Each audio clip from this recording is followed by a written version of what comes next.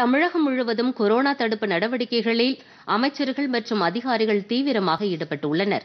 சென்னை ராஜா அண்ணாமலை மன்றத்தில் நடைபெற்ற நிகழ்ச்சியில் துறைமுகம் தொகுதிக்கு உட்பட்ட ஆயிரம் குடும்பங்களுக்கு நலத்திட்ட உதவிகளை இந்து சமய அறநிலையத்துறை அமைச்சர் சேகர்பாபு வழங்கினார். அப்போது நாடாளுமன்ற உறுப்பினர் தயாநிதி மாறன் உள்ளிட்டோர் உடனிருந்தனர்